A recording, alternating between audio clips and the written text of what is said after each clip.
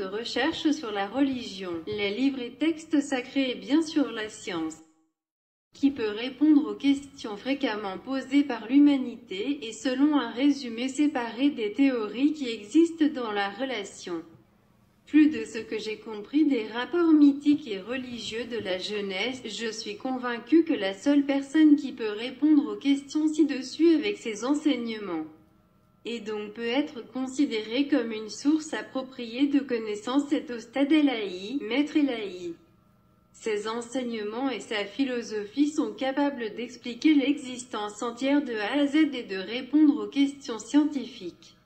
Ces enseignements, fondés sur une raison indéniable, sont scientifiquement explicables. C'est le grand objectif que je veux aborder dans ce livre et prouver sa vérité ultime, à condition que le terme preuve soit un terme relatif. Bien sûr, je sais que ce qui est une vérité absolue pour moi peut être une simple affirmation pour d'autres personnes. Cependant, je suis sûr qu'après avoir lu l'ensemble du livre, ces personnes changeront d'avis. Ce qui m'a poussé à écrire ce livre est aussi le fait qu'avec les enseignements de Maître Elahi, l'idée de René Descartes d'une méthode universelle pour la recherche de la vérité peut être réalisée. Cela peut sembler une grande promesse au début, mais c'est une affirmation que je vais essayer de réaliser dans ce livre avec des connaissances issues des domaines scientifiques de la biologie, de la génétique, de la physique et de la chimie des particules, etc. Une telle recherche nécessite une grande quantité d'informations que j'ai acquises au cours des 20 dernières années, jusqu'en 2010, avec l'étude continue de tous les travaux de Maître Elahi qui ont déjà été publiés. Malheureusement, cela n'a pas suffi pour théoriser les informations tirées de ces enseignements sous une forme scientifiquement acceptable. En outre, il me manquait encore d'innombrables informations précises provenant des différents domaines des sciences naturelles.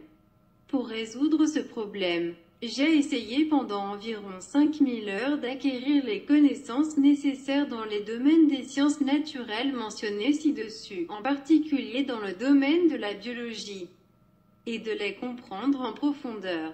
Un autre problème était que je devais combiner les catégories d'informations des deux mondes entre elles. Pour y parvenir, j'avais besoin de points communs tangibles avec lesquels je pourrais rapprocher les termes des deux dimensions. Trouver ces faits a été un effort qui m'a pris des centaines d'heures supplémentaires. Tout comme les combiner entre eux et construire ainsi une base à partir de laquelle mener une étude sérieuse.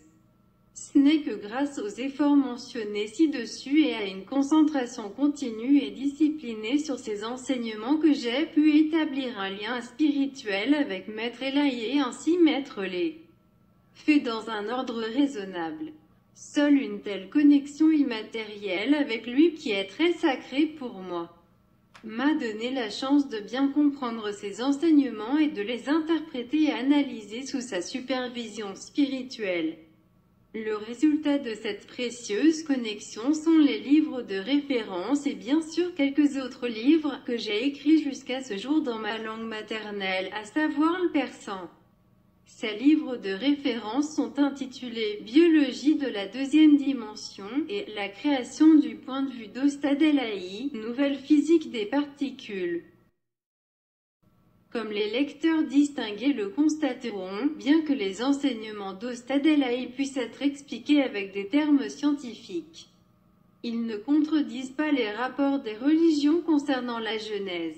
Il est connu que les vérités religieuses et les sciences académiques se croisent parfois. Maître Elahi a été le seul à détecter les anneaux cachés, à les remettre à leur place et à résoudre ainsi le mystère de l'existence une fois pour toutes. J'ai appelé ce type de vision du monde, qui a été développé et présenté par Ostad science intégrée.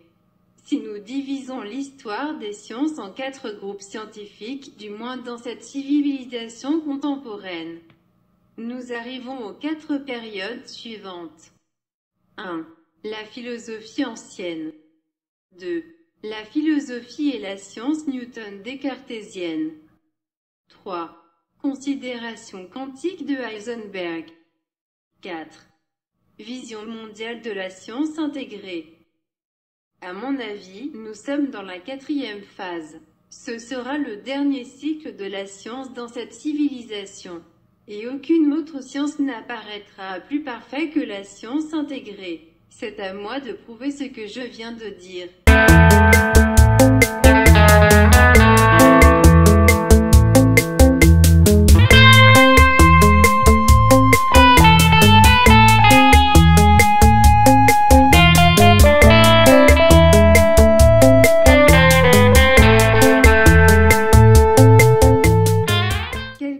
À propos du livre. J'ai divisé ce livre en quatre chapitres. Dans le chapitre 2, nous traitons du déchiffrage de l'énigme et de l'analyse de sujets tels que ce qui s'est passé avant et pendant le Big Bang. Comment les fermions primaires et donc les multiverses et les êtres vivants sont nés ou ont été créés? Comment les âmes terrestres ont été créées? Comment la vie sur Terre a commencé, etc. Le chapitre 3 traite de cette question. Les types d'âmes. Les êtres vivants terrestres, créatures, et leurs âmes. Le développement des âmes. La relation des âmes avec leur corps. Qui est un être humain. Quelles sont les tâches qu'il doit accomplir sur Terre, etc. Nous divisons aussi symboliquement deux dimensions d'une personne et les examinons à fond. Dans ce chapitre, pour la première fois, des phénomènes non visibles qui interagissent avec le corps comme la psyché sont localisés, expliquant ainsi de nombreux processus cérébraux inexplicables. Dans le chapitre 4, nous nous penchons sur la cause première des maladies, y compris les maladies physiologiques. L'analyse des processus énergétiques mentaux en relation avec le système karmique et la préparation des instructions est un autre sujet que nous aborderons. Afin de bien comprendre le but du livre, je vous demande, chers lecteurs, d'étudier le texte sans préjugés et jusqu'au bout, même si certains sujets semblent compliqués ou ne correspondent pas à votre goût. Les sujets de ce livre sont présentés de telle manière qu'ils sont compréhensibles même pour des lecteurs sans connaissances académiques préalables. Il est à noter que toutes les discussions de ce livre correspondent à l'état actuel de la science. Je dois également souligner que tous les sujets interprétés qui se rapportent aux enseignements d'Ostadelaï sont basés sur mes traductions et ma compréhension. C'est-à-dire que le contenu de ce livre est ce que j'ai appris de ces enseignements et utilisé pour expliquer les sujets. Il convient également de mentionner que dans ce livre, je me suis en fait limité à deux thèmes centraux des enseignements d'Ostadelaï et que j'ai donc analysé et théorisé l'origine de l'existence en général. Bien entendu, les enseignements et les travaux d'Ostadelaï sont beaucoup plus étendus. Par exemple, la partie essentielle de ses écrits concerne l'éthique qui est différente de ce que nous entendons par là. Ces enseignements comprennent la cosmologie, la théologie et la conception d'un système spirituel spécifique. Ce dernier traite de la réponse à des questions difficiles telles que Pour quelle raison le monde existe-t-il? Y a-t-il un sens final à cela? Aussi, pour le fait qu'il est mis en place exactement comme il est. S'il existe un Dieu, que pouvons-nous apprendre à son sujet? Qu'est-ce que l'au-delà, l'autre monde? Quelles sont les lois dans cette dimension, dans l'au-delà Qu'est-ce que l'âme? Il existe quel type d'âme? Et quelles relations entretiennent-elles entre elles? L'âme est-elle immortelle? Quelle est la relation de base entre l'esprit et la matière? Avons-nous le libre arbitre? Quels sont les processus de maturation qu'une âme doit avoir connus pour pouvoir acquérir le rang de perfection? Qu'est-ce que le QFM, Essence Quantum Forward Movement, etc.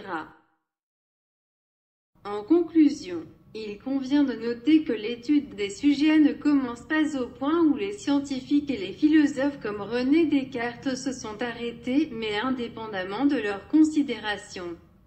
À savoir au début de tout, uniquement en fonction du rapport de création d'Ostadelaï, c'est-à-dire bien avant l'émergence du temps et de l'espace. Attention, ces articles ne constituent pas l'intégralité du livre, mais certains des sujets les plus importants.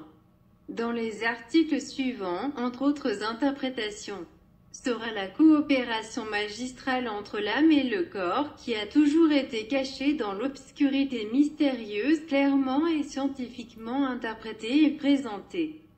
C'est la seule façon d'expliquer raisonnablement l'existence de l'homme. De la partie 5. Recherche et études. Mars Dabesh. Source principale. Le livre Biologie de la dimension quantique. Mars Dabesh. Sujet suivant. 3. Dimension quantique de la matière.